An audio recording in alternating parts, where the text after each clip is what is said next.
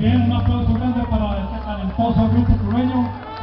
Y vamos a entrar en materia porque vamos a presentarles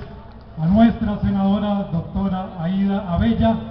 y ella hace ya la apertura para que entre